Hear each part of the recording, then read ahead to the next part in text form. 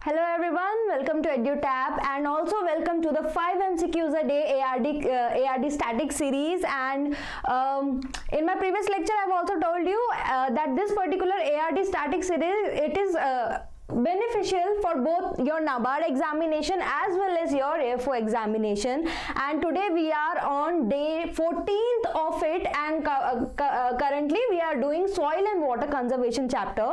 This chapter is quite long. That is why we are doing it in many parts right?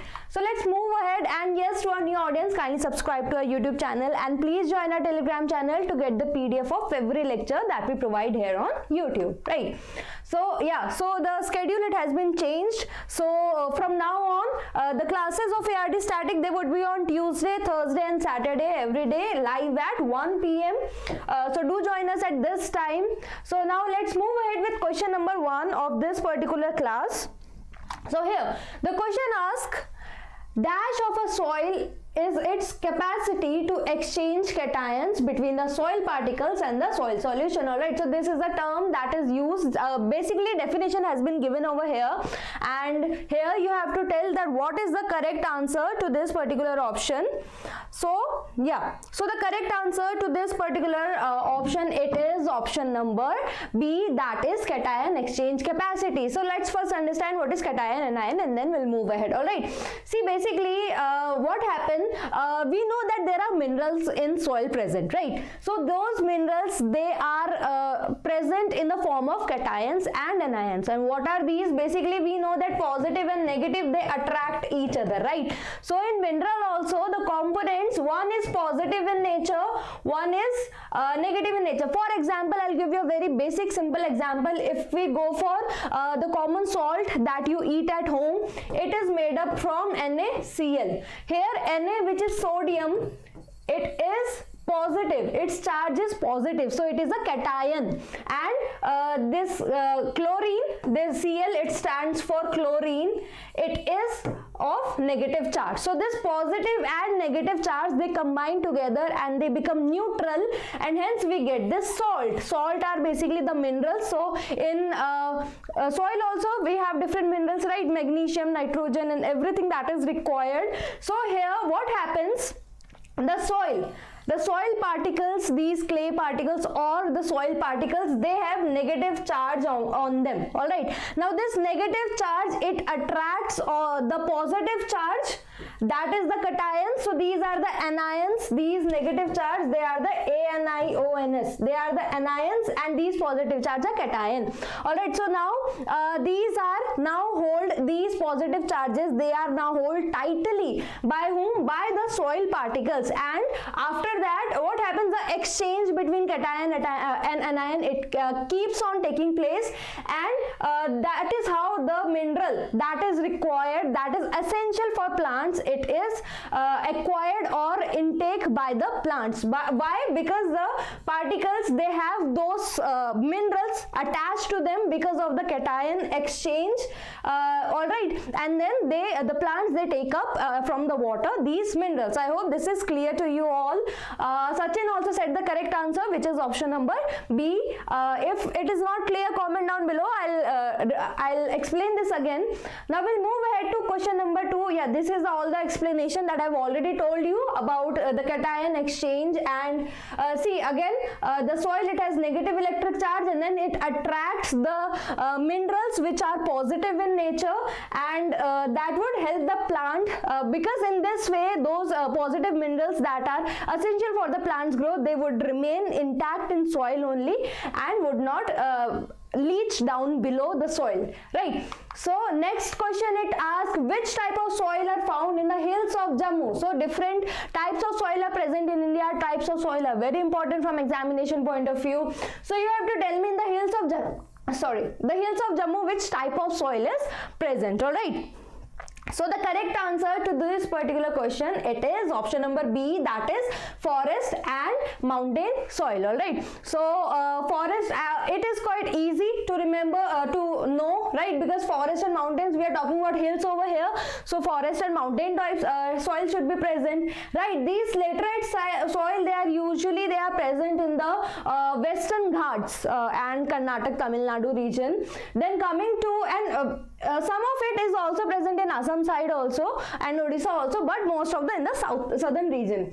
Coming to arid and desert soil it is easier to uh, understand because it is talking about desert area where we talk about western rajasthan. We talk about talk about north gujarat right? So all these area they constitute these. And then coming to red soil your red soil it, uh, usually it, uh, it is in the uh, center of india and also in the southern south of gangetic plains there these type of soils are present all right? So there are different types of what is the summary of teaching this? You should know about types of soil you should study about them.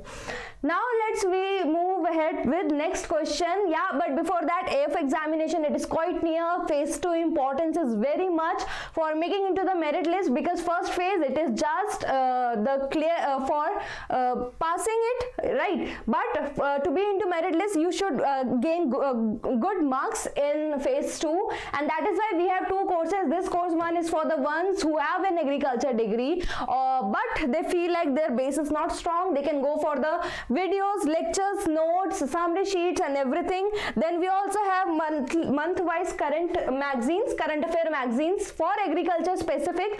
For your examination we also have schemes that are related to agriculture and phase 2 test series that will be constituting of 25 full length mock test and 30 sectional test we have course 2 for those people who think they are prepared and they just need a quick revision. So for them we have this mock test series which will have 25 full length mock test and 30 sectional test and detailed pdf explanation and do remember though both the courses they are valid till 31st march and you can get 15% off by using the code early 15 all right so let's move ahead with question number 3 which says which of the following soil covers uh, largest area of india? See this question uh, basically this topic that i'm teaching in this particular question it is important from your nabard point of view also as well as your um, AFO also right? Because this particular soil because as the uh, question also suggests because it covers the largest area of India. That is why it is quite important right so here the correct answer to this is option number D that is alluvial soil.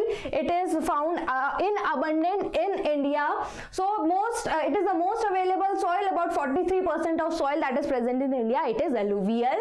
And it is found from entisol soil order. See these soil orders they are very important. In fact the next question is related to that only and there I'll tell what is a soil order. But for uh, now you should remember that it is entisol uh, then coming to deposited in flood plains by transportation how this alluvial soil are basically made. See wherever there is a river because of the action of river the uh, soil from one place it is transported to another right? So uh, this is how the alluvial soils they are formed. Now there are no horizon means there is no proper segregation of the soil profile and um, Pradeep said the correct answer for this. And uh, this uh, particularly this alluvial soil it is it is of two types khadar and bhangar okay. So khadar it is newly formed alluvium means which uh, the soil which has uh, newly transported uh, through the action of river from one place to another. That is known as khadar. But when it uh, kept remains in that area for a longer time some of its property it changes. Initially it is sandy but then it becomes clay with deposition of more and more soil and and due to the effect of that particular area then when it becomes older and more clay in nature then we call it a bhangar soil. Alright so both are classification of that. Next coming to the color. So color of it is, varies from light gray to ash gray and texture. It is sandy to silty loam or clay alluvial soil is very important if you're going for nabard also if you're going for afo also. In fact in nabard two to three times the same question has been asked right? So do not uh, skip type of soil especially alluvial black red. These are uh, renowned uh, right and present in abundance. That is why. Next this is the exact question of nabard. Uh, that is black soils are made up of which of the following soil order? So what is a soil order? See if uh, uh, you must have studied till 10th in biology even if you belong to maths background or biology after that but before that you must have studied that there are dif different classification of uh, organisms that are present in this world right? For in uh, example in case of plants you have uh, phylum then you have order suborder then you have family species varieties right? Uh, not in the sequence but yes you have different categorization. And with every categorization uh, the common characteristic between all the uh, organism that belong in there uh, they are quite same or similar in nature. Similarly this soil order is one of such classification in which uh, the following categories they have similar characteristics. And here you have to tell me uh, that black soil it belongs to which soil order all right so such uh, Shubham he says vertisol, Sachin says C, Pradeep says C and uh, yes the correct answer to this is C. Very good vertisol. It is a previous year question and you have given the correct answer. So see again uh, these soil orders are very important. Entisol you just have studied that entisols belong to uh, it is the soil order of which soil? It is the soil order of alluvial soil alright. Then you have oxisol, it is the soil order of laterite soil and uh, vertisols you it is of uh, black soil only. We have just done it. And then uh, alfisol it is of your uh, black soil uh, sorry it is of red soil. Right. So you have different classification that we have studied. Now we'll move ahead. I hope my uh, writing it uh, it is readable. I'll work on it. And now we'll move ahead to question number five which says which of the following is our examples of regolith? So this question uh, if purnima she is watching uh, i'm really sorry. Last time in live chat she asked me about what is regolith i asked her that i'll uh, come to her answer in the end but then i forgot. Apologies for that and that is why i've added this particular question in in my this particular session. So i hope you're watching. You're not angry with me. So you have to tell me that which of the following is our example of regolith this is related to chapter soil only and that is why we are studying this. So if you know the answer comment down below fast See, the correct answer to this particular question, it is option number E, that is all of the above. So what is regolith? Let's just understand. See, regolith, it is a term that, uh, it is a Greek, it is derived from Greek word, okay? There are two Greek words. Uh, one is rego. Rego means blanket or cover, alright? Blanket or cover means the same thing. And then we have lith, which means soil, alright? Which means soil. So any covering over the soil it is known as regolith. In case of, uh, yes Shubham he gave the right answer that is all of the above. So what is the thing that, yeah, so I uh, now understand. See regolith is basically anything that covers the base, the parent rock or any rock. So uh, it, uh, it could be anything. It could be dust also, it could be soil also or any other broken rock that is present above the uh, main rock right? So now let's just understand why this moon dust is over here. As the name suggests in India we usually consider soil as regolith usually all right?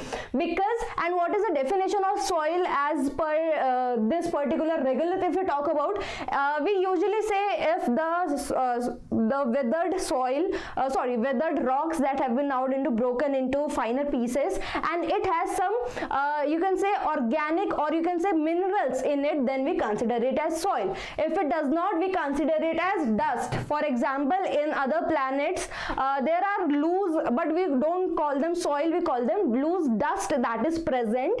Why? Because they do not have any minerals in it that are important for the plants right? So that is why moon dust is also a regolith because in that case in the uh, in above those uh, uh that particular parent uh, rock uh, it is present. And then broken rocks are all, can also be considered and in this regolith in fact the if you go for the birds or the small animals they find their shelter right? And then soil of course now we know and dust it is also so any blanket any covering over loose covering you can say over a, a rock. It is known as regolith. I hope that is clear. Uh, and now you understood. If you still haven't understand purnima you can comment down below. I'll reply there only. I won't wait for the next class. Right so yeah that was the question number 5 and yes that is all for today. The toppers of last session it is Pramod. He said the right answer. So the last question it was that what is the initial uh, the prior stage uh, to gully right? So or something like that. But yes that was a revision question that we have already covered in one of the previous lectures.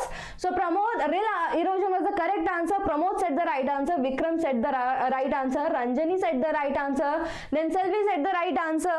And then we have Vinayak said the right answer and then Leena said the right answer and Utpal also said the right answer. Leena is uh, live also so uh, good Reena and we have Utpal also and he gave the right answer to this alright.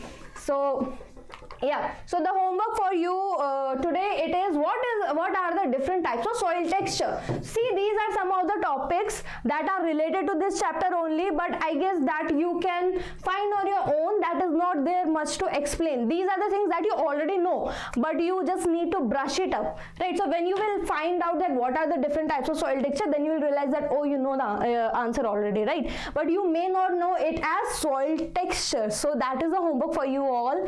And yeah yeah that is all for today. I hope you enjoyed the session and i really hope this was helpful uh, fruitful for you all. If you have any queries comment down below. I, I have solved it first uh, in my previous sessions also of the people who had query and let everybody aware of that and uh, i'll do in the further sessions also. And all the very best for your examination. We'll meet again on saturday at 1 p.m uh, until then